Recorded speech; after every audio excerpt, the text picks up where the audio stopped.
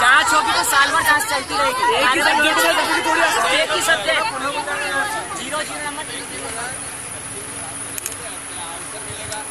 जब ये बात करे जब छात्र है ना जब तेरे को अवसर मिले जब आप बेटा छात्र जब एक ही अगर आए हैं तो कैसे आए बच्चों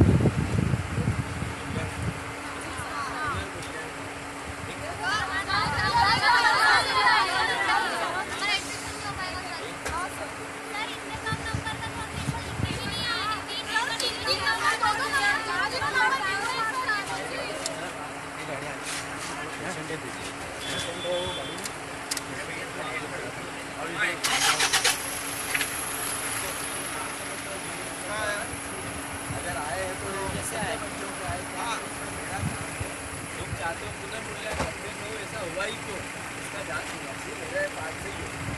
दूसरी बात ये मेरी बच्चियों का भविष्य बिगड़ेगा इसकी मेरी है ओके क्या जरा चुप रहना जरा नेता की बता सभी नेता होते हैं, अगर व्यक्ति लीडरशिप करता, यहाँ पे हम विद्यार्थी परिषद के कार्यकर्ता विद्यार्थी बन के आए हैं। ऐसा आखिर हो ही क्यों रहा है? विक्रम विश्वविद्यालय निरंतर ऐसी कार्रवाई करता है। ज़ीरो पिछले पिछले साल इंग्लिश लिटरेचर में पैंतीस विद्यार्थी एक क्लास में तो पैंतीस के पैंतीस विद्यार्थियों को ज़ीरो नंबर मिले। क्या हम बारहवीं में बारहवीं में एट्टी नंबर आए थे इंग्लिश में? जब इंग्लिश में कुछ भी नहीं लिखा होगा हमने ज़ीरो नंबर आए थे। ऐसा क्यों हो रहा है?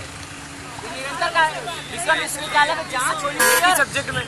जो भी अधिकारी इसमें है उन पर कार्रवाई होनी चाहिए क्योंकि ये सब निरंतर सालों साल चले आ रहा है कि आगे कब तक चले रहेगा विद्यार्थी हमारे एग्ज़ाम देते हैं बड़े उत्साह के साथ एग्ज़ाम देते हैं उस एग्ज़ाम देने के बाद उनमें ज़ीरो नंबर विद्यार्थी अगर कुछ भविष्य में कुछ कर ले आत्महत्या कर ले ऐसी तो इसके जवाबदार कौन होगा? विक्रम विश्वविद्यालय कुलपति जवाबदार होंगे? उनमें तो आपस में ही नहीं बन रही है कुलपतियों में। जवाब गुस्सा नहीं गुस्सा नहीं है ये।